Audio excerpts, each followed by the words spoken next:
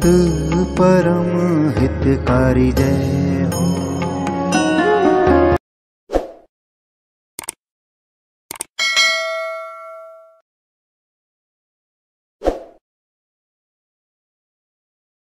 ત્યારે શાસ્ત્રોની અંદર જ્યારે નજર કરીએ ત્યારે આપણને ખ્યાલ આવે કે આ સત્સંગની કિંમત કેટલી છે મહારાજના નંદ પરમહંસ બ્રહ્માનંદ સ્વામી એમણે પોતે વાત કરતા એવું કહ્યું કે માત મિલે, પુની તાત મિલે, સુત ભ્રાત મિલે, યુવતી સુખદાયી. બ્રહ્માનંદ સ્વામી કે છે કે કદાચ જીવનની અંદર તમને સારી માતા મળે, પિતા મળે, સારો દીકરો મળે, સારા પત્ની મળે, સારો ભાઈ મળે, બધું જ મળે, પણ બ્રહ્માનંદ સ્વામી કહે છે કે જો સત્સંગ ન મળે, તો કંઈ જ નથી મળ્યું. કદાચ આપણે આપણા જીવનની અંદર પૈસા ભેગા કર્યા, જમીન ભેગી કરી, ખેતી છે, નોકરી છે, ધંધો છે, મકાન છે, કુટુંબી સગાવાલા બધું જ આપણને સારું મળ્યું, પરંતુ સંતો આપણને દ્રષ્ટિ આપે છે કે જો જીવનની અંદર સત્સંગ અને ભગવાનની ભક્તિ ન કરતા હોય તો કછું ન ભયો ભાઈ. તો કઈ જ નથી મેળવ્યું છે. એકડા વગરના મીંડા આપણે ભેગા કરીએ એકડા વગરના મીંડાની કિંમત કેટલી? જેમ એકડા વગરના મીંડાની કોઈ જ કિંમત નથી, એમ સત્સંગ વગરના જીવનની પણ કોઈ જ કિંમત નથી. એટલે સંતો આપણને સમજાવે છે કે જીવનની અંદર સત્સંગ છે, ભગવાનની ભક્તિ છે, એ નિત્ય નિયમ રાખીને કરવો. શ્રીજી મહારાજે શિક્ષાપત્રીમાં આપણને આજ્ઞા આપી, મહારાજે કહ્યું કે નિત્ય પ્રત્યે સત્સંગ કરવો, જેમ રોજ આપણે ખાઈએ છીએ, રોજ આપણે જેમ ભોજન કરીએ છીએ રોજ આપણે ઊંઘી જઈએ છીએ ખેતરે જતા હોઈએ, કોઈ નોકરીએ જતા હોઈએ, એમ આપણને મહારાજ કે છે કે રોજ સત્સંગ કરવો. કેમ? તો જ્યારે વિચાર કરીએ ત્યારે આપણને ખ્યાલ આવે કે સત્સંગ કરવાની વાત ભગવાન અને સંતો આપણને એટલા માટે કે છે, પહેલી વાત, મહારાજના સંતોએ આપણને પદની અંદર સમજાવ્યું કે શા માટે સત્સંગ કરવો? તો પેલું આપણને સમજાયું કે સમજીને સત્સંગ કીજીએ. આપણને કહે છે કે તમે પહેલા સમજો અને સમજીને સત્સંગ કરો, ભગવાનનું ભજન કરો, ભગવાનની ભક્તિ કરો, કેમ? તો કહે છે કે આ મનુષ્ય દેહ કેવો છે? મોંઘો મનુષ્યનો આરો. વીજના ઝબકારા જેવો. ફેરફેર નહીં મળે આવો. ડાયા દિલમાં વિચારો, સમજીને સત્સંગ કીજીએ. આ મનુષ્યનું શરીર કેવું છે? વીજળીના ઝબકારા જેવું છે. હમણાં વીજળી તમે બહાર નીકળો અને વીજળી થાય તો વીજળી કેટલા કલાક રહે છે અહીંયા? આકાશમાં થતી વીજળી કેટલા કલાક ચાલે? કલાકમાં ગણાય? આકાશમાં થતી વીજળી આમ ક્ષણની અંદર થઈને ઓલવાઈ જાય છે. એમ કે છે કે મનુષ્યનું શરીર કેવું છે? વીજના ઝબકારા જેવું. વીજળી જેમ જતી રહે છે એવી રીતે શરીર ક્યારે પડી જાય કોઈને ખબર નથી. પાણીના પરપોટા સમછે કંચન તારી કાયા પળ એકમાં ફૂટી જશે, કાયામાં શું મોયા? માણસ શરીરની અંદર કેટલો બધો મોહ પામે, કેટલો બધું સમય છે આપણે ઊંઘવામાં, ભોજનમાં, નાવામાં, શરીરની પાછળ વિતાવીએ છીએ. ભજન કરવાની પાછળ માણસ વિતાવતો નથી. એને કહે છે કે તમે ડાયા છો? તો દિલમાં જરા વિચાર કરો કે આ મોંઘો મનુષ્યનો આરો છે, વારે વારે મળતો નથી અને ભગવાનનું ભજન ફક્ત મનુષ્યના શરીરમાં જ થાય છે. આ એક જ શરીર એવું છે કે જ્યાં તમે ભજન અને ભક્તિ કરી શકો. બાજુમાં મંદિર છે. મંદિરની અંદર કૂતરું આવે તો તમે આવવા દો. આ સભાની અંદર ધારો કે કોઈ બિલાડી આવી તો આપણે અંદર પ્રવેશ કરવા દઈએ. કેમ? તમે એવું કેમ માનો છો કે એમનામાં આવ્યું એને કથા સાંભળવી છે તો? પણ મનુષ્ય સિવાય બીજું કોઈ પણ પશુ પક્ષી કથાની અંદર, મંદિરની અંદર, સત્સંગની અંદર આવે ને, એને ભજન કરવું હોય, માળા કરવી હોય, પ્રદક્ષિણા કરવી હોય, પણ કોઈ ભજન કરવા દેતું નથી. ભજન ફક્ત મનુષ્યના શરીરમાં જ થાય છે. એની અંદર જ આપણે ભક્તિ કરી, આપણું આત્માનું કલ્યાણ કરી શકીએ છીએ શરીર પાછું કેવું છે?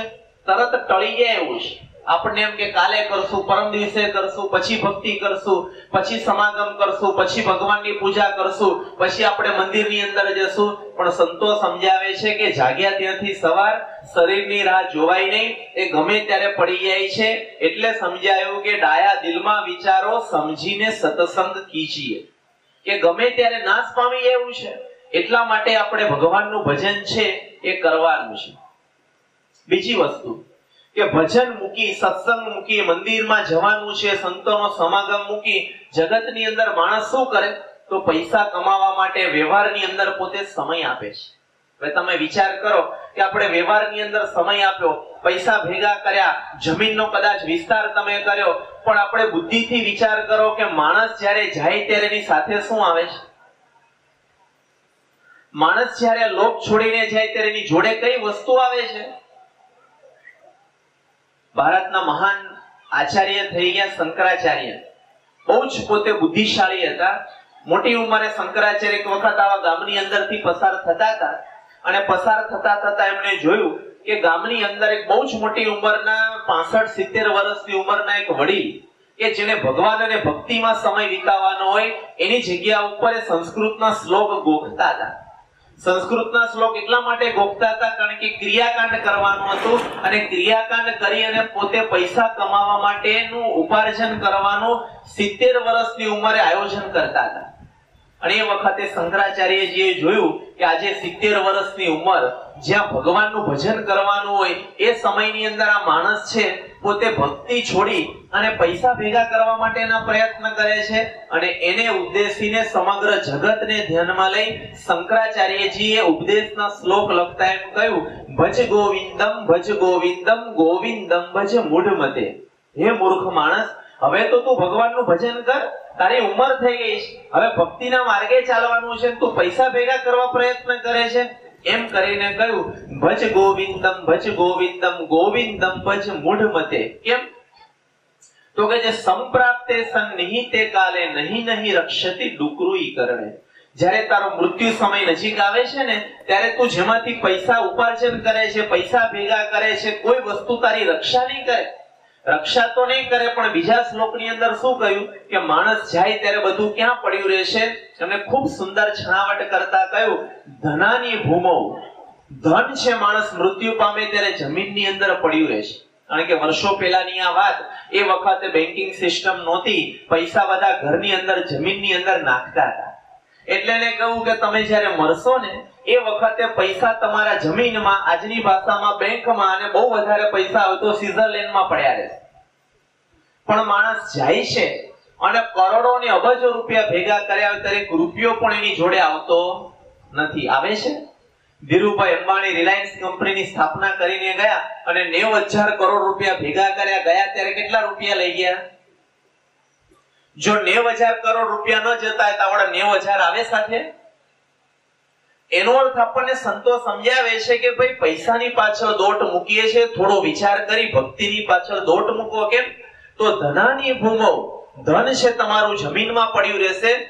પસવશ્ચ ગોષ્ઠે પશુ એ વખતે ધન ગણાતો એના દૂધની અંદરથી લોકો પોતાનો જીવન વ્યવહાર કરતા, પણ માણસ મરી જાય છે, ત્યારે બાંધેલું ઢોર છે, ગમાણની અંદર જે જગ્યા ઉપર ખીલે બાંધેલું હોય, ત્યાં રહી જાય છે. એને કહ્યું કે, ધનાની ભૂમો પસવસ્ત ગોષ્ઠે નારી ગૃહદ્વારી. પત્ની છે માણસને એમ કે, ભાઈ, અમે તો જોડે જમીએ, એના પત્ની વગર રહી શકતો ન હોય, એની અંદર એને આસક્તિ હોય, ગમે તે હોય પણ શું કહે છે કે માણસ જ્યારે મૃત્યુ પામે ત્યારે ગમે તેવી ડાઈ અથવા તો સમજુ અને ગમે તેટલો હેતવાળી સ્ત્રી હોય છતાં પણ મૃત્યુ માણસ પુરુષ જ્યારે પામે ત્યારે આપણી હિન્દુ સંસ્કૃતિ પ્રમાણે એ ઘરના દરવાજા સુધી તમારી સાથે આવશે, સ્મશાન સુધી કોઈ પત્ની સાથે આવતી નથી. ત્યાં તમને છોડી દે. તમને એમ કે મારો મિત્ર છે. એની જોડે તો અમે બેઠક ઉઠક કરીએ છીએ. જોડે જ ભણતા હતા, જોડે જ જમતા હતા અને એના વગર તો હું રહી નથી શકતો. એક એટલે મારે સત્સંગ મૂકીને બીજી જગ્યાએ જવું પણ પડે છે. આ મારો મિત્ર મારી સાથે જ હોય છે. પણ સંતો સમજાવે છે કે તમે જ્યારે મૃત્યુ પામો ત્યારે મિત્ર ક્યાં આવે? નારી ગૃહદ્વારી સખા સ્મશાને. સખા એટલે કે મિત્ર. મિત્ર સ્મશાનની અંદર તમને મૂકવા માટે આવશે. લાકડા ઉપર ચડાયા પછી મિત્ર કોઈ જોડે આવે? અત્યાર સુધીનો એક પણ પ્રસંગ એવો સાંભળ્યો કે કોઈ મરી ગયા પછીનો મિત્રની જોડે ગયો ઉપર? આપણે ગયા કોઈની જોડે? તો આપણી જોડે કોઈ આવવાનું છે? એનો અર્થ એ થયો કે તમારો મિત્ર હશે કે જે કદાચ આપણને સત્સંગ મુકાવતો હશે, કદાચ આપણે એની જોડે જ ફરતા હશું, નોકરી કરતા હશું બાજુ બાજુમાં ખેતર હશે કે બાજુ બાજુમાં મકાન હશે, મરી ગયા પછી આપણી જોડે મિત્ર પણ નથી આવતો, તમારો દીકરો પણ નથી આવતો કોઈ જ વસ્તુ તમારી સાથે નથી આવતું, તો શું આવે છે? ધર્માનુગો ગચ્છતિ જીવ લોકે જીવ જ્યારે લોકનો ત્યાગ કરી પરલોકની અંદર જાય છે, એ વખતે સંતો આપણને સમજાવે છે કે તમે કેટલું ધર્મનું પાલન કર્યું છે, કેટલો તમે સત્સંગ કર્યો છે, કેટલી ભગવાનની ભક્તિ કરી છે, કેટલી ગુરુની આજ્ઞા પાળેલી છે, આ પુણ્ય તમે કેટલું ભેગું કર્યું ને, એ કરેલું પુણ્ય માણસ મરે છે, એ નાની ઉંમર હોય કે મોટી ઉંમર મરે ત્યારે કરેલું પુણ્ય અને કરેલો સત્સંગ છે, એ માણસની જોડે આવે છે. એના સિવાયની બધી જ વસ્તુ અહીંયા મૂકીને જવું પડે છે. એટલે આપણને સમજાવે છે કે વ્યવહાર કરતા કરતા સમય કાઢી જે જોડે આવવાનું છે, એની પાછળ પણ થોડો સમય કાઢો નતર ગાંડા કહેવાય. તમે જે સાથે જ નથી આવવાનું, એની પાછળ સમય કાઢો તો? તમે વિચારો કે આમાં કોઈ નોકરી કરતું હોય. તમે એક મહિનાના ત્રીસ દિવસ નોકરી કરી. નોકરી પૂરી થયા પછી પેલી તારીખ, બીજી તારીખ, ત્રીજી તારીખ, દસ તારીખ આવી ગઈ. તમે પગાર માંગો અને કંપની વાળા ના પાડે, પગાર નહીં મળે અને તમે એમનામ પાછા આવવાનું થાય, એક વર્ષ સુધી તમને પગાર આપે ને પગાર વગર તમારે કારખાનામાં નોકરી કરવાની હોય તો કોઈ કરે? અને પગાર લીધા વિના ઘેર આવે અને નોકરી કરવા આઠ કલાક કારખાનામાં જાય તો એને ડાયો કહેવાય કે ગાંડો? ખેતરની અંદર તમે રોજ સવાર પડે અને ખેતીની અંદર જાઓ, આખું વર્ષ સુધી ખેતરમાં આપણે મજૂરી કરી, તાપની અંદર છે આપણે ખેડ કર્યું, પાણી આપ્યું, ખાતર આપ્યું, બધું કર્યું. પણ વર્ષ પૂરું થયા પછી ખેતરમાંથી એક નાનો પાક પણ જો આપણા ઘરની અંદર ન આવતો હોય તો એવી ખેતી કરાય? અને જો કરે તો એને ગાંડો દુનિયા ગણે. કારણ કે એની જોડે નથી આવતું, તો હવે તમે વિચાર કરો, એક વર્ષની ખેતી કે એક મહિનાનો નોકરીનો પગાર ન આવે ને તમે કરો તો આપણને કોકને ગાંડા ગણીએ. તો આખી જિંદગી સુધી કરેલી નોકરી, કરેલો ધંધો કે કરેલી ખેતી, એમાંથી માણસ જાય ત્યારે કેટલું આવે છે? છતાં પણ આખી જિંદગી એ જ કરે તો એને ડાયો કહેવાય કે ગાંડો? બોલો, તમે જ કહો, શું કહી શકાય? તો જાણી જોઈને માણસ મૂર્ખ બને છે કે બધું જ છે, છતાં પણ ભક્તિ નથી કરતો, જે નથી આવવાનું, એ કરે છે. યોગી બાપા કહેતા કે આ કેવું બને? એક વખત એક શેઠ હતા. ઉનાળાના સમયની અંદર પોતે કંટાળે એટલે એમ થયું કે ચાલો આપણે નદીની અંદર ફરવા માટે જઈએ. એટલે નદીની અંદર પોતે ફરવા માટે જાય છે. એમાં બન્યું એવું કે એક બોટ વાળો હતો, પેલો નાવિક હતો, બિચારા બધાને આ બધા યાત્રાળુ આવ્યા હોય. તો નદીની અંદર થોડું ફરાવે ને દસ, પંદર, વીસ રૂપિયા એની પાસેથી લે. એટલે પેલા શેઠ હતા, સારા કપડા, સારી ગાડી પાર્ક કરી અંદર બેઠા અને નદીની અંદર ગયા અને સમય પસાર કરવાનો હતો એટલે પેલો ગરીબ, સત્સંગી, ભગવાનનું ભજન કરનાર એક માણસ, આ નાવિક હતો, નાવ ચલાવનાર, એને પૂછ્યું કે, નાવિક, એક પ્રશ્ન પૂછ્યું કે, પૂછો ને કે તારી પાસે બેંકની અંદર કેટલા પૈસા છે? પેલા કેવું સાહેબ, બેંક જોઈ જ નથી, ખાતું જ નથી ખોલ્યું હજી. કે કેમ? કે અમારે આવે જ નહીં, રોજનું રોજ વપરાય છે, અમારે બેંક હોય જ નહીં. પહેલા કહ્યું કે હજી તારું બેંકની અંદર કોઈ ખાતું જ નથી ખોલ્યું કે ના? તારી પાસે કોઈ બેંક બેલેન્સ કે પૈસા છે જ નહીં કે ના? એટલે પેલો ખીજાને શેઠ કે, તારી આ પચાસ વર્ષની ઉંમર થઈ, હજી સુધી તે પૈસા ભેગા નથી કર્યા, અને આખી જિંદગી સુધી આ ભજન કર કર, કરી, અને આવી રીતના જીવન તારું બરબાદ કર્યું કે તારી પાંચ જિંદગી પાણીમાં જતી રહી. પેલા કહું શેઠ જે હોય હવે મારી પાસે કોઈ પૈસો નથી. થોડા આગળ ગયા એટલે વળી પાછી પૂછ્યું કે તારી પાસે આમ મકાન અને ગાડી કેટલી? પેલો કે સાહેબ, અમારે મકાન હોય જ નહીં, અમારે તો ઝૂંપડામાં રહેવાનું હોય. એ કે એમ સ્લેબ વાળું મકાન કે સાહેબ, અમારે આવે જ નહીં, અમારે ઝૂંપડું. અને ઝૂંપડું ગમે ત્યારે ફેરવું હોય તો ફરે, તમારે જેવું ને એકવાર નાખ્યા પછી ફરે નહીં. એ કે પણ આમ નહીં, મકાને મોટું હોય કે ના, અમારે મકાન હોય જ નહીં. એને કહ્યું કે તારી જિંદગીમાં તે મકાન નથી કર્યું? એટલું બધું એને આઘાત લાગ્યો કે માણસે પોતાનું એક મકાન નથી કરી શક્યો. એ કે ના, પહેલા કહ્યું, તારી અડધી જિંદગી પાણીમાં જતી રહી, પચાસ વર્ષની ઉંમર થઈ, હજી તારું ઘરનું ઘર બનાવી નથી શક્યો. એમના ઝૂંપડાની અંદર રખડ્યા કરે છે અને આ બસ ગળાની અંદર છે, કંઠીને હાથમાં માળા લઈને આવી રીતના નાવિકના હલેસા મારી જીવન બરબાદ કરી નાખે એમ કરતા કરતા એક પછી એક બધું બતાવતા જતા હતા કે તારી પાસે મકાન નથી, તારી પાસે ગાડી નથી, તારી પાસે કઈ નથી. એમ કહીને એને કહ્યું કે તારી પોણી જિંદગી પાણીમાં ગઈ, તને ધિકાર છે કે તે જિંદગીમાં કઈ કર્યું નહીં? થોડું આગળ ગયું. એટલે બોટની અંદર પાણી ભરાવા માંડ્યું કે તૂટ્યું. એટલે પછી નાવિકે શેઠને પૂછ્યું કે શેઠ, હવે હું પ્રશ્ન પૂછું કે પૂછો કે તમને તરતા આવડે છે? એટલે પેલો શેઠ કે, ના, મને તરતા નથી આવડતું. અમે તો એમના બાથરૂમમાં નહીં લઈએ. એટલે અમારે કે નદી તળાવમાં જવાનું હોય ને તરતા નથી આવડતું. એ કે, કેમ એવું પૂછે છે? પેલા નાવિકે કહ્યું કે, શેઠ, આ બોટની અંદર કાણું પડ્યું છે, પાણી ભરાય છે. હું ઉલેચું છું, છતાં પણ વધારે આવે છે. એટલે હવે પાણી વધારે જવાથી બોટ ડૂબવાની તૈયારી છે. તમને તડતા નથી આવડતું, તો હવે તમે કૂદો હું કૂદું. મને તો બીજું જાજુ નથી આવડતું. મારી પાસે ગાડી નથી, મારી પાસે બંગલો નથી, મારી પાસે પૈસા નથી. મારી તો પોણી જિંદગી પાણીમાં ગઈ ને. પેલો કે શેઠ કે પોણી ગયે જ પચાસ વર્ષથી હજી કઈ પૈસા ગાડી બંગલા લીધા નથી. પેલો નાવિક અંદર કૂદ્યો અને કહ્યું, મારી તો પોણી ગઈ, તમારી તાખી નાખી જવાની છે. કે મારી તો પોણી જિંદગી ગઈ ને, પણ મને તરતા આવડે છે, હું સામા કિનારે નીકળી જઈશ. તમારી પાસે બધું જ છે, પણ આખી ને આખી જિંદગી તમારી પાણીમાં જવાની.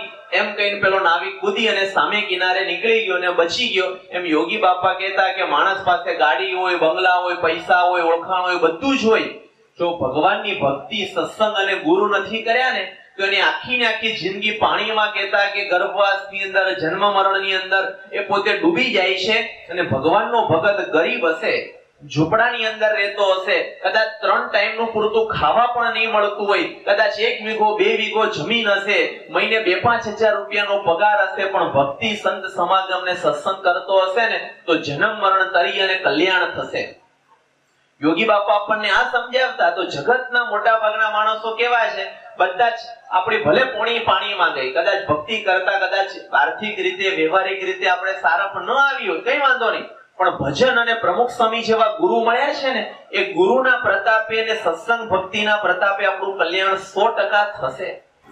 એટલા માટે આપણને સમજાવે છે કે સત્સંગ કરો. ગુણાતીતાનંદ સ્વામી તો કે છે કે કપડા બાળીને સત્સંગ કરો. ખાવા ન મળતું હોય તો સ્વામી કે પાણી પીને સત્સંગ કરો. પાણી પીવાનું ન મળતું હોય તો વાયુ ભરખીને કહેતા નિર્જળા ઉપવાસ કરીને પણ સત્સંગ કરો. સત્સંગ કોઈ દિવસ મૂકવો નહીં. આપણને ખબર પડી કે બાજુના ગામમાં સંતો છે.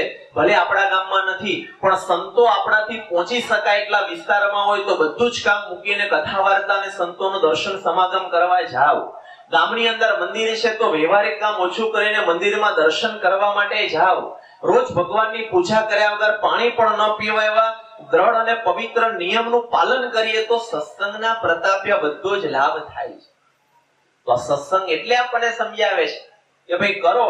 બ્રહ્માનંદ સ્વામીએ કહ્યું કે સંત સમાગમ કીજે નિષદિન સંત સમાગમ કીજે. ચોવીસ કલાક આ કરો કેમ? આપણને એમને રોજ શું સત્સંગ કરવાનો? કઈ જગતમાં કેવું હોય કે વર્ષે એક વખત કરે ને તો એમ લાગે હું સત્સંગ કરું છું. જ્યારે આપણને એમ થાય કે એના કરતા તો વધારે કરું, મહિને મહિને પૂજા કરી જ લઉં છું આપણને એમ મહિને પૂજા કરું, બે ત્રણ મહિને મંદિરે જઈ આવું છું તો હું તો સત્સંગી જ છું. પણ સત્સંગ કરવાનું એટલા માટે કે આપણને દેખાતું નથી, તમે સત્સંગ કરો, લાભ શું થાય? તમે નોકરી કરવા જાઓ તો સાંજે આવો તો લાભ થાય, મહિનો પૂરો થાય તો પૈસાની થપ્પી દેખાય. ખેતી કરો તો તમે કંઈક પાક બજારમાં વેચીને આયા તો બે ત્રણ બંડલ લઈને આયા. તમે સભામાં ત્રણ દિવસ આવશો, ત્રણ દિવસ પછી કોઈક પૂછે શું લઈને આયા? પ્રસાદ ઘેર પહોંચ્યો હોય તો બતાવાય, રસ્તામાં જ પૂરો થઈ ગયો તો એ નહીં બતાવાય. કે ભાઈ પ્રસાદ નહીં પહોંચે ઘર સુધી તો શું બતાવશો? ત્રણ દિવસ અમે રસ્તામાં આવતા હતા તો ઘણા બધા ટ્રેક્ટરની અંદર આઈસરની અંદર ટેમ્પા ની અંદર આવતા હતા. દૂર દૂરથી આપણે આપણા ગામથી અહીંયા આવ્યા અને અહીંયા તમને પૂછે કે તમે સત્સંગમાં તમને લાભ શું થયો? શું બતાવશો કહો એટલે આપણે ઘણી વખત પાછા પડીએ છીએ કોઈ સત્સંગમાંથી લાભ નથી થતો. એના કરતા કોકના લગ્નમાં ગયા હોય તો કઈ કઈ લાભ થાય. કોકના લગ્નમાં ગયા તો કંઈક લાભ થાય. આમાં શું લાભ થાય? લાભ થાય? કોકના લગ્નમાં ડીજે વાગતો હોય તમે બે કલાક નાચો તો કંઈક તો લાભ થાય આમાં તો નાચવાનું છે ને, બેસવાનું જ છે. તો આપણને દેખાતું નથી. એટલે આપણે ભૂલા પડીએ છીએ. આપણે ની આખી દુનિયા ભૂલી પડે છે. એટલે સત્સંગની અંદર બધા આવતા નથી. બીજી જગ્યા ઉપર જવાનું હોય તો બધા જાય. પણ તમે સમજો, આ કેવી વસ્તુ ન દેખાય છતાં પણ કિંમત વધારે હોય. તમને સાદી ભાષામાં સમજાવું? તમે સાંજે જમીન આયા, કોકે રોટલી, કોકે ભાખરી, કોકે રોટલા, કોકે શાક, આ તો ખીચડી જમ્યા કે? તો તમે રોટલી, દાળ, ભાત, શાક, ખીચડી આપણને દેખાય છે, એ ખાવાથી પેટની અંદર જવાથી શરીરમાં શક્તિ આવે. તો એક બાજુ એ છે અને બીજી બાજુ ઓક્સિજન છે, હવા છે. હવા દેખાય છે? તમે રોટલી બે લીધી, બે હવા લીધી, એવું કોઈ દિવસ સાંભળ્યું? હવા આપણને દેખાતી નથી. પરંતુ તમે વિચાર કરો કે માણસને એક દિવસ રોટલી, ભાખરી, શાક નહીં મળે તો જીવી શકે કે નહીં જીવી શકે? પણ હવા એક દિવસ ના આપી તો? તમે એકાદશીના દિવસે એમ કે દાળ ભાત નહીં ખાવાના, ખીચડી નહીં ખાવાની, રોટલી નહીં ખાવાની, તો પણ આપણે મહિનામાં બે દિવસ નીકળે છે પણ મહિનામાં બે દિવસ એવા કે આજે હવા નહીં લેતા, કોઈ બીએપીએસ વાળા તો બધાની નીકળી જાય હવા. ચાલે હવા વગર? હવા દેખાતી નથી, પણ એની કિંમત રોટલી, ભાખરી અથવા તો કોઈ મિષ્ટાન કે ફરસાણ કરતા વધારે છે. એમ આપણને સત્સંગની અંદર શું મળે દેખાતું નથી, એ ઓક્સિજન જેવું છે, પણ સત્સંગ મળવાથી માણસ જીવે છે. એ મળવાથી એ સુખી થાય છે. એટલા માટે આપણને આ બધી વાતો સંતો સમજાવે છે કે સત્સંગ કરો. પહેલી વાત આપણને સમજાવે કે કેમ સત્સંગ કરવો? તો પહેલો લાભ જો જોતા શીખો કે આમાંથી આ લાભ થાય છે. દેખાતો નથી, પૈસા નથી દેખાતા, પણ કેવો લાભ થાય છે પહેલી વાત? તુલસીદાસજી એમની તુલસી રામાયણની અંદર એમ કહ્યું કે સત્સંગ કરવાથી શું લાભ અને ન કરવાથી શું ગેરલાભ? તુલસીદાસજી કે છે કે બિનુ સત્સંગ વિવેક નહીં. જ્યાં સુધી તમે સાચા ભાવથી સત્સંગ નહીં કરો, સત્સંગ એટલે શું?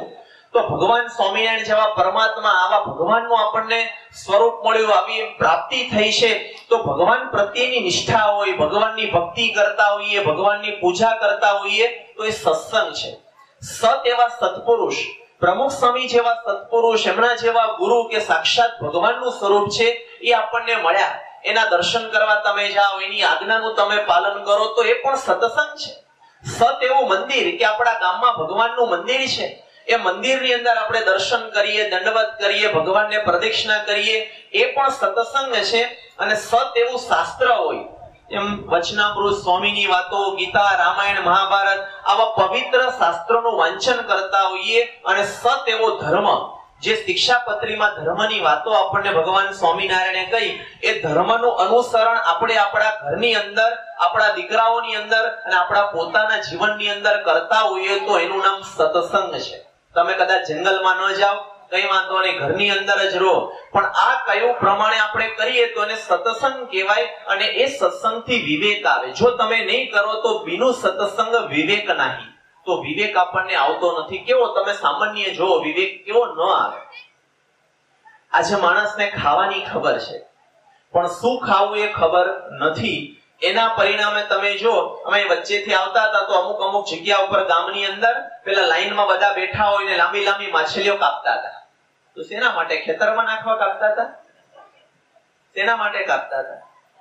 આજે માણસ છે, એને ખબર છે કે આ ખવાય નહીં, આમાં પાપ રહેલું છે, છતાં પણ આજે દુનિયાની અંદર લાખો ને કરોડો માણસ એવા છે કે જે માંસ ખાય છે. કેમ કે એને સત્સંગ નથી? એ માછલીઓ ખાતા હોય મરઘા ખાતા હોય ગાય કે જેને પૂજન કરવામાં આવે છે એ ગાયનું માંસ પણ મોટા મોટા શહેરની અંદર સુખી અને સંપન્ન અને બુદ્ધિશાળી ભણેલા ગણેલા એસી ની અંદર બેઠા બેઠા ટેબલ ઉપર ચમચીથી ગાયના માંસ ખાતા એને શરમ આવતી નથી. કેમ? કારણ કે સત્સંગ કરતા નથી. સત્સંગ કરતા હોય તો ખબર પડે કે ભગવાને ખાવાનું આપ્યું છે તો શું ખાવું? એનો વિવેક તમને સત્સંગથી આવશે. જો નહીં હોય તો આજે માણસ લગ્નની અંદર માંસાહાર કરે છે કે નહીં? ખાવાની અંદર આપ્યું. આજે ન ખાય એની લોકો મસ્કરી કરે બોલો, આપણે સ્વામિનારાયણ સત્સંગ તમે નહીં ખાવ તો આપણી કોઈક મસ્કરી કરશે. તો આજે એવી દશા થઈ ગઈ છે, પણ એની અંદર પણ આપણે નિત્ય જો સત્સંગ કરતા શું તો આપણને વિવેક આવશે કે આ ખવાય નહીં, આનું પાપ લાગે. ભગવાને આપણને પીવાનું કહ્યું, પાણી પીવો, શરબત પીવો, દૂધ પીવો, પણ દારૂ પીવાય? પણ છતાં આજે તમે પરિસ્થિતિ કેવી છે? લગ્નની અંદર રાત્રે જો ડીજે મૂકવામાં આવે ને આ બાજુના ગામડામાં કદાચ ખબર નથી, પણ એ બાજુના ગામડામાં તો આટલા દિવસે જો દારૂ ન હોય તો લગ્ન પૂરા થાય જ નહીં. દરેક ગામડાની અંદર હોય કે શહેરની અંદર હોય દૂધની જેમ અને પાણીની જેમ માણસ છે, આજે ખરાબ રસ્તા ઉપર ચડી ગયા, દારૂના રવાડે ચડી ગયા. એના કારણે કેટલા બધા માણસો બરબાદ થઈ જાય છે.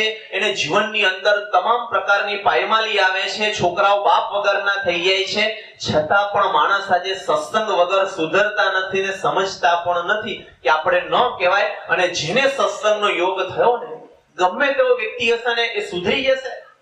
એને ખબર પડશે કે આપણે કરાય જ નહીં. તો કોઈ બીનું સત્સંગ વિવેક નહીં. સામાન્ય ખાવા પીવાનો વિવેક છે ને, એ સત્સંગની અંદરથી આપણને આવતો હોય છે. આજે આપણે જો કે સત્સંગમાં આપણે આવ્યા. બાપાનો યોગ થયો, સંતોનો સમાગમ થયો. તો આપણા જીવનની અંદર પણ ઘણા બધા વ્યસન હતા. એ ગયા કે નહીં? અને હજી પણ જો તમે ભાવથી સત્સંગ કરશો ને, હજી ખૂણે ખાચરે નાનું મોટું ગજવામાં કે વ્યસન હોય ને, તમને અંદરથી વિચાર આવશે ત્રણ દિવસ પછી કે આપણે આ વ્યસન છે, એ છોડી દેવું છે, આપણે આ વ્યસન રાખવું નથી. એવો વિચાર આ સત્સંગથી આવશે, એ વિવેક આવશે, તો પહેલી વાત આ છે. બીજો આપણને વિવેક આવે, પરિવારનો વિવેક, કુટુંબનો વિવેક કે તમે સત્સંગની અંદર જાઓ. અને તમે તમારા દીકરાઓ છે, નાના અને દીકરીઓ છે, એને મંદિરમાં લઈ જાઓ. એ છોકરાઓ છે, એને તમે તમારી સાથે સંતોનો સમાગમ કરવા માટે લઈ આવો. આજે આપણને એવું કે આપણે આપણા છોકરાને અંગ્રેજી ભણાવું છે. છોકરાને ડોક્ટર બનાવવા, છોકરાને એન્જિનિયર બનાવવા, પણ સંસ્કાર આપવાની કોઈ મા બાપ છે ચિંતા કરતું નથી, એના પરિણામે કેવી પરિસ્થિતિ થાય છે? જો તમે બધું જ આપો, પણ સંસ્કાર નહીં આપો ને, આજે માણસના જીવનમાં મોટામાં મોટું દુઃખ હોય ને આજની તારીખે, આપણે કોઈને કહી નથી શકતા, પણ છાતી ઉપર હાથ મૂકજો. મોટામાં મોટો દુઃખ માણસને હોય તો પોતાના પરિવારનું, પોતાના દીકરા દીકરીનું છે. ઘણીવાર આપણને એમ કે ભાઈ એને કદાચ સત્સંગ ના આપ્યો, એને ભગવાનની પૂજા ન કરી અને આપણે એને કદાચ સારું મોબાઈલ આપ્યો, બીજું આપ્યું, બધું આપ્યું, પણ નહીં આપ્યું ને? એવી વાત છે આ. તમને કદાચ કોક સાંભળ્યું કે ભાઈ કાશ્મીરની અંદર બોમ્બ ફૂટ્યો ને આતંકવાદ થયો અને તમે પાંચ માણસ ભેગા થયા, ચર્ચા કરી કે આતંકવાદી ખરાબ છે, આવું ન કરાય અને રાત્રે દસ, સાડા દસ વાગે તમે સુઈ જશો. આતંકવાદીની ચર્ચા કરીને તમને ઊંઘ આવશે પણ તમારા ઘરમાં તમારો દીકરો કે તમારી દીકરી જો તમારી સામે બોલ્યા અને તમારા ઉપર સેજ જો અવાજ ઊંચો કર્યો ને, એ દિવસનો આતંકવાદ તમને ઊંઘ ઉડાડી દેશે. બહારનો આતંકવાદ તમને જાજો નહીં નડે, પણ તમારો દીકરો કે તમારી દીકરી સામે બોલ્યા અથવા તો તમારી ઈચ્છા વિરુદ્ધનું વર્તન કર્યું ને, એ દિવસે તમને એમ લાગશે કે જીવનને ધિકાર છે.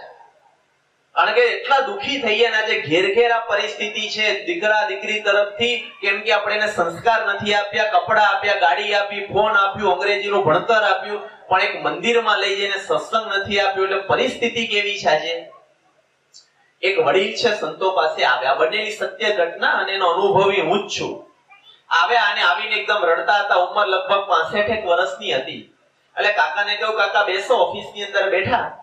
બેઠા પછી બિન સત્સંગી હતા. એટલે પાણી મંગાવ્યું પાણી આપ્યું. કહ્યું, કાકા, કેમ રડો છો આટલી ઉંમરે? એને કહ્યું કે, સ્વામી, ત્રણ દીકરા છે. કાકા, દીકરા હોય તો હસવાનું હોય, રડવાનું થોડું હોય. દીકરા હોય તો હસાય કે રડાય? એને કહ્યું, સ્વામી, રડાય એવા છે. તો બરાબર છે. તો કો શું છે? સ્વામી, ત્રણેય દીકરા છે, એ જુદા રહે છે. તો મેં રડો છો કેમ? પછી પૂછ્યું, એ કે, સ્વામી, એક કામ કરો. કે શું? કે તમારા કોઈ હરિભગત હોય અને તમારા હરિભગત ને કહો મને દાંતના ચોખ્ઠા કરાવી આપે. તો મંદિરમાં એવું થોડું હોય. કે કેમ? એ કે દાંત નથી, ખવાતું નથી, દુખી થવાય છે, એટલે દાંતના ચોખ્ઠા નથી. તે ચોખ્ઠા કરાવી આપો ને. તો ત્રણ દીકરા છે ને કાકા? એ કે ત્રણ છે પણ નથી, મેળ પડે એવો. તું કેમ? પૂછ્યું કદાચ ગરીબ હોય એવું બને બિચારા. સાવ સામાન્ય હોય તો આપણે વ્યવસ્થા કરીએ. એને પૂછ્યું, કાકા ત્રણ દીકરા છે તો શું કરે છે ત્રણ દીકરા? એને કહ્યું કે કાકાએ કહ્યું, સ્વામી, પેલો દીકરો છે ને, એ ભરૂચની અંદર જીએનએફસી કંપનીની અંદર એન્જિનિયર તરીકે નોકરી કરે છે. તું કાકા, એનો પગાર કેટલો? એનો પગાર લગભગ સાહીઠ હજાર નો છે. સાહીઠ હજાર નો પગાર હા. તો બીજો દીકરો, તો કે ઓએનજીસી કંપનીની અંદર નોકરી કરે છે, કે એનો હજાર પગાર કે પંચોતેર હજાર? પંચોતેર, હા. કે ત્રીજો દીકરો, એ ત્રીજો દીકરો ભરૂચની અંદર એને શોરૂમ કરી આપ્યો છે કાપડનો, તૈયાર કપડા માટેનો, અને મહિને પાંત્રીસ ચાલીસ હજાર રૂપિયાનો નેટ પ્રોફિટ એને પણ મળે છે. ત્રણ દીકરા છે. કીધું, કાકા, બહુ કેવાય એકનો સાહીઠ હજાર, એકનો પંચોતેર હજાર, એકનો ત્રીસ હજાર, આટલો બધો પગાર તમારું લોહી, તમારા દીકરા. બધું ચોખ્ઠું કેટલાનું આવે? તો અહીંયા આવવું પડ્યું. કેટલાનું આવે ચોખ્ઠું કરોડમાં આવે? ને કહું કાકા ચોખ્ઠું કેટલાનું આવે? તો મંદિરમાં માંગવા આવવું પડ્યું. એને કહ્યું કે સ્વામી, આ છોકરાઓ એવા છે ને, એ ચોખ્ઠું નથી કરી આપતા. કીધું પણ કેમ એમ? એ કે સ્વામી, કેમની વાત કેમ કરો છો? ઓએનજીસી કંપનીમાં તો કંપનીમાં એવું છે, સેન્ટ્રલ ગવર્નમેન્ટ જોબ કહેવાય કે એ કંપની છે, એ એનો એમ્પ્લોઈઝ હોય ને, કોઈ નોકરી કરનાર, એના સગા માતા પિતાની દવાની તમામ જવાબદારી કંપની આ કરે. એનો દવાનો ખર્ચ કંપની આપે, તો મેં તો શું ચિંતા છે? કે મારા ચોખ્ઠાના પૈસા લઈને વાપરી નાખ્યા. વિચાર તો કરો.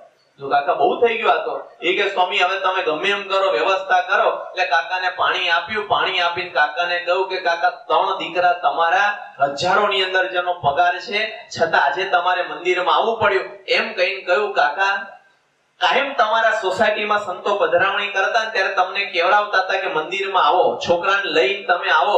એ વખતે તમે કહેતા કે ના, મારે તો મારા છોકરાને અંગ્રેજી ભણાવવું છે, એને એન્જિનિયર બનાવવો છે અત્યારે ભજન ભક્તિ કરાવું તો છોકરો ભણે નહીં. એને કહ્યું, કાકા, જો નાનપણથી છોકરાની આંગળી પકડીને મંદિરે આવ્યા હોત ને તો આજે મંદિરે ચોખ્ઠા માંગવા આવું ના પડત.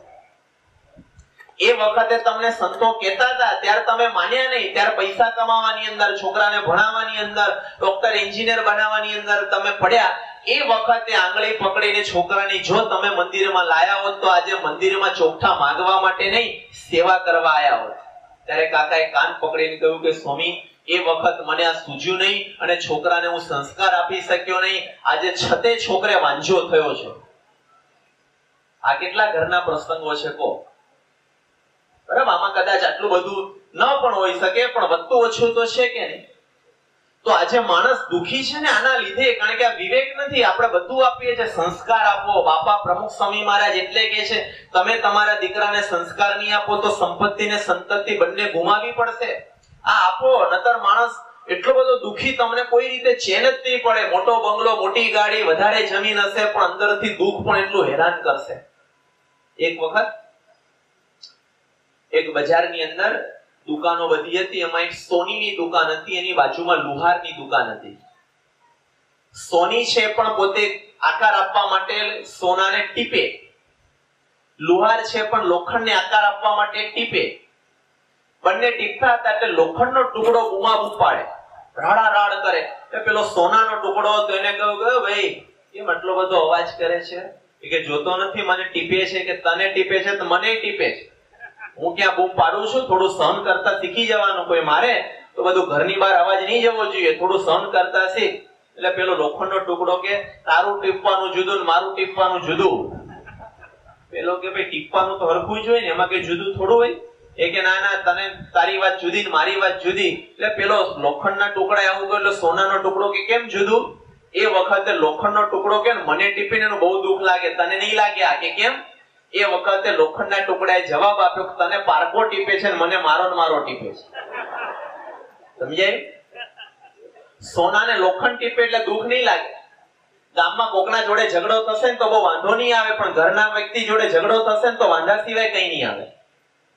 પારકો તમને ગાળ બોલી જાય, પારકો તમને ઝઘડી જાય, પારકો તમને મારી જાય તો વાંધો નહીં આવે. પણ પોતાનો ને પોતાનો જ્યારે ટીપવાની શરૂઆત કરશે ને, ત્યારે માણસ વધારે રાડા રાડ બુમાબુમ અને દુખી થશે, એ ન થાય. એના માટે આપણને બાપા અને સંતો સમજાવે છે કે બીજું વધતું ઓછું થશે પણ સત્સંગ.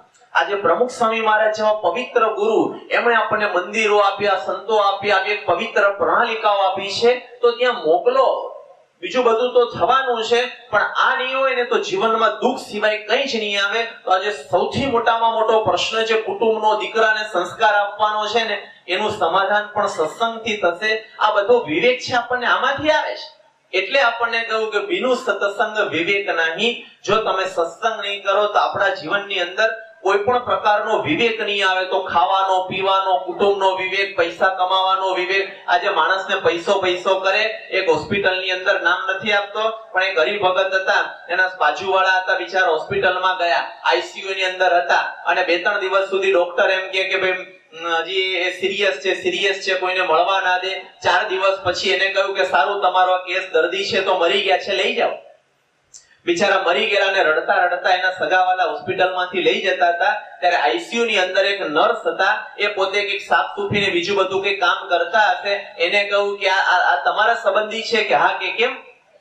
ત્યારે પેલા એ કહ્યું કે મારી હોસ્પિટલની અંદર હું નોકરી કરું છું. ન કહેવાય, છતાં પણ હું કહું છું કે શું? કે બે દિવસ ત્યાં મરી ગયેલો હતો. વેન્ટિલેટર ઉપર એમનામ રાખેલો, પણ બીજો દર્દી ના આવે ને એટલે ખાલી નહોતા કરતા.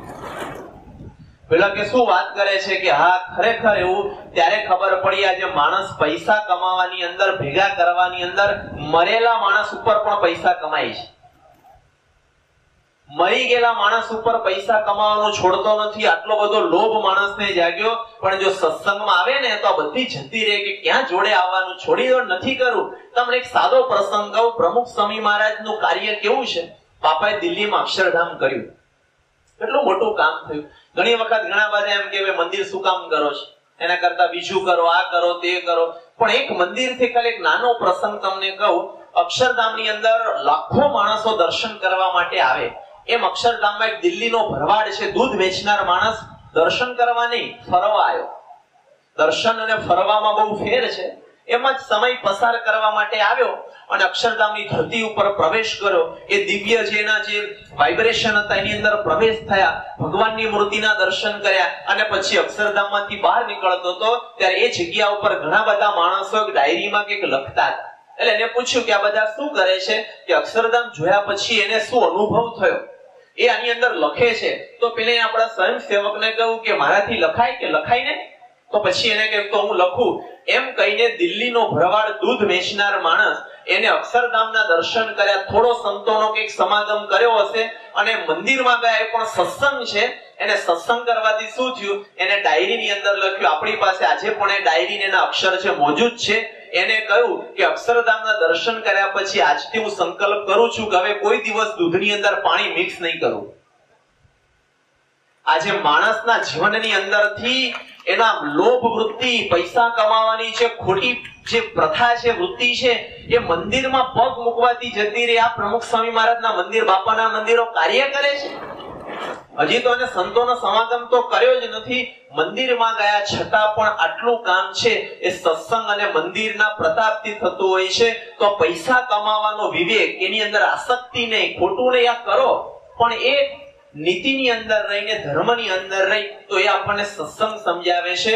તો પેલી વાત આ કે કેમ સત્સંગ કરો કે આપણી અંદર આવો વિવેક આવશે, જીવન જીવતા આપણને આવડશે, આપણા બાળકોની અંદર શું આપવું એ પણ ખબર પડશે અને પરિવારની અંદર આપણને શાંતિ રહેશે. તો પેલી વાત આ છે.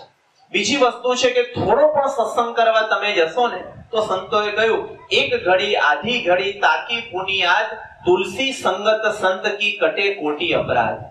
માણસના જીવનની અંદર પાપ જાણે અથવા તો અજાણે થાય. કરેલા પાપ છે એનું નિવારણ જો કરવામાં ન આવે તો પાપ ભોગવવા પડે. સંતોએ કહ્યું કે પાપ છાનું કરો કે ચોકમાં, અંતે પોકારે ઉઠશે આલોક કે પરલોકમાં. તમે ખૂણામાં પાપ કર્યું, ખેતરમાં પાપ કર્યું, ઘરની અંદર દરવાજા બંધ કરીને કોઈ પાપ કર્યું, કોઈ નથી જોતું એવી જગ્યા ઉપર જઈને પણ આપણે પાપ કર્યું તો સંતો આપણને સમજાવે છે કે પાપ તમે છાનું કરો કે ચોકમાં, અંતે એ પોકારી ઉઠશે આલોક કે પરલોકની અંદર. આલોક અથવા તો પરલોકમાં કરેલું પાપ છે, એ પોકારશે એટલે પાપનું નિવારણ કરવું અત્યંત અનિવાર્ય છે, પણ કેવી રીતે પાપને ધોવાય? કપડા ધોવા હોય તો તમે ગરમ પાણીને પાવડર નાખો તો ધોવાય. ટાઇલ્સ ધોવી હોય કદાચ તો સેજ એસિડ નાખો તો બાથરૂમની ટાઇલ્સ પણ ધોવાય. પણ અંતરમાં ને મનમાં લાગેલા પાપને ધોવા હોય તો એસિડ નખાય તો એને કેવી રીતે ધોવા? તો મનના લાગેલા પાપને ધોવા માટે સંતો આપણને સમજાવે છે કે તમે સત્સંગ કરો. ગમે તેટલા પાપ હોય ને, સત્સંગ કરો તો ભળે ક્યાં સુધી? ગુણાદિતાનંદ સ્વામી છે, એક વખત વિચરણ કરતા કરતા પોતે ગામડામાંથી પસાર થતા હતા. એમાં લીલાખા કરીને ગોંડલની બાજુમાં એક ગામ છે. એ ગામની અંદર ગયા. બે પાંચ આપણા હરિભક્તો હતા, એ સત્સંગ કરતા હતા. એમાં ગામની અંદર એક માથા ભેર અને એકદમ પાપી માણસ, વ્યસની માણસ અને ચોરી લૂંટફાટ કરનાર માણસ એક મુંજો શરૂ કરીને હતો. એ ત્યાં આવ્યા અને એના સગાવાલા હતા અને એને કહ્યું, સ્વામી, આને તમે સત્સંગી કરો તો આખા ગામમાં શાંતિ થાય. ગુણાદિતાનંદ સ્વામી એને પ્રેમથી કહ્યું કે, તું સત્સંગ કર. વર્તમાન ધરાવ, સત્સંગી થા. એને કહ્યું કે, સ્વામી, મારે એટલા બધા પાપ છે ને કે મારા પાપ કોઈ દિવસ બળેવા જ નથી. ઉણાદિતાનંદ સ્વામી કે, અમારા વચને તું કંઠી પહેર એટલે તારા પાપ બળે. એને કહ્યું, પણ સ્વામી, મારે એટલા બધા પાપ છે ને કે નહીં બળે. સ્વામી કે, તું કંઠી પહેર. એટલે ગુણાદિતાનંદ સ્વામી એમનો જમણો હાથ કરી અને પાણીના બે ટીપા આપ્યા અને કાળ માયા પાપ કર્મ યમ દૂત ભયાદહમ સ્વામિનારાયણ શરણમ પ્રપન્નોસ્મી સપાતુમાં આ એક મંત્ર. ઘણી વખત આપણે સંતો પાસે જઈએ અથવા સગાવાલાને લઈ જઈએ, આપણને એમ કે બે પાણીના ટીપા આપે એટલે માણસના પાપ ભળે જો આપણી અંદર પણ ઘણી વખત આમ થોડીક શ્રદ્ધા ઓછી છે, પણ સમજવાનું કે આ કંઠી પહેરવી એટલે કેટલી મોટી વાત છે. અથવા તો આપણા ગમે તેવો મિત્ર પાપી હોય, પણ તમે સંતો પાસે, તમે તમારી રીતે બુકસ્ટોલ કંઠી પહેરી લો તો ના થાય. સંતો પાસે આવો અને સંતો તમને કંઠી પહેરાવે. તો કેટલો લાભ થતો હોય આ નાની પ્રક્રિયા નથી. શાસ્ત્રોની અંદર લખેલું છે અને સંતોનો એટલો પ્રતાપ છે કે ગયા અને હાથની અંદર પાણીના ટીપા આપ્યા. ગુણાદિતાનંદ સ્વામી મંત્ર બોલ્યા અને સ્વામી કે, તારા કેટલા પાપ કે સ્વામી? મારા તો બહુ પાપ છે, નહીં વળે. સ્વામી કે, સામે આ કાળમિંડ પથ્થર છે, એ એ તૂટે કે? એ કે, સ્વામી, તૂટતો હશે. એ વખતે ગુણાતીતાનંદ સ્વામી કહ્યું કે, તારા બે જળના ટીપા પથ્થર ઉપર તું પાડ. એને પોતાના હાથમાં રહેલો વર્તમાન પછીનું જળ છે એ પથ્થર ઉપર આમ પડ્યું અને જે પથ્થર કદાચ હથોડા મારવાથી પણ ન તૂટે, જે પથ્થરને પછાડવાથી પણ ન તૂટે, એ પથ્થર આ મુંજાસુરુના પાપને લીધે એ પાપી થયેલા પાણીના બે ટીપા પથ્થર ઉપર પડ્યા ને, તૂટીને પથ્થર એકદમ નાના નાના ટુકડાની અંદર પરિવર્તન પામ્યો. પેલાની આંખો પોળી થઈ ગઈ કે, સ્વામી, આ સત્સંગમાં આટલો બધો પ્રતાપ છે? કે મારા જેવો પાપી આખી જિંદગી પાપ કરેલા, પણ આજે તમારા જેવા સંત પાસે આવીને સત્સંગી થવાનો હજી તો સંકલ્પ કરું છું અને મારા જીવનના પાપ બધા ભળી ગયા? ગુણાતીતાનંદ સ્વામી કે, હા, હવે તો નિષ્પાપ બની ગયો. પણ હવે નવા પાપ તું કરતો નહીં અને કંઠી પહેરાવીને સત્સંગી કર્યા ત્યારે ત્યાં ઉભેલા અને આજની તારીખ સુધી બધાને શ્રદ્ધા જગાડી કે સંતો પાસે જઈ અને કંઠી પહેરો, તો જાણે અજાણે આજે અથવા તો આગલા વર્ષોની અંદર પણ કરેલા પાપ છે, એ પાપ બળે એટલે કંઠી છે પહેરવી બહુ જરૂરી છે પાછી. ઘણીવાર એમના હોય નહીં, ગળામાં કંઠી હોવી પણ જરૂરી છે અને સંતો પાસેથી જ પહેલી વાર પહેરવી પડે, બીજી વાર ન પહેરો તો ચાલે. પણ પહેલી વાર તો સંતો પાસેથી પહેરીએ તો આપણને નિષ્પાપ કરી દે આ સત્સંગનો પ્રતાપ છે. ગમે તેવો પાપી માણસ હોય ને, એના પાપ પણ દૂર કરે અને ગમે તેવો ખરાબ માણસ હોય, એને પણ પવિત્ર કરે. ગુણાદિતાનંદ સ્વામી છે, એમની વાતોની અંદર આપણને સમજાવ્યું. ગુણાદિતાનંદ સ્વામી કે છે કે શ્વાન સુકર ખર. શ્વાન એટલે કૂતરો. કૂતરા જેવો જીવ હોય. પવિત્ર નહીં કેવો? સ્વાન એટલે કૂતરા જેવો. સુકર એટલે ભૂંડ જેવો. ખર એટલે ગધેડા જેવો. કદાચ કોક માણસ એટલી બધી નીચી કક્ષાએ પહોંચી ગયો હોય કે કૂતરા જેવો, ગધેડા જેવો જીવ થઈ ગયો હોય, પણ એને કહ્યું, મળે સદગુરુ સંત. એને જો કોઈ પવિત્ર સંત મળે ને, તો કરી મૂકે સંત મળે જો સદગુરુ સંત. કોઈ સંત મળે. એનો સમાગમ કરે, એમનો સત્સંગ કરે, તો કૂતરા જેવો જીવ, ગધેડા જેવો જીવ અને ભૂંડ જેવો અત્યંત પાપી જીવ હોય ને, એને પણ પવિત્ર કરે, એને પણ પરિવર્તન કરે, એ સત્સંગનો પ્રતાપ છે. આપણને કેમ આટલો આગ્રહ રાખે છે કે સત્સંગ કરો સત્સંગ કરો. ગમે તેવો પરિવર્તન પામી જાય આ કોઈનું જીવન છે, બદલાઈ જતું હોય છે. જેમ તમે સમજો, દૂધ છે, એ છાસ કરતા સારું છે. એની અંદર શક્તિ પણ છે. છતાં પણ એ સારા દૂધની અંદર પણ જ્યારે આપણે કેસર ઉમેરીએ ને, ત્યારે દૂધનો કલર બદલાય.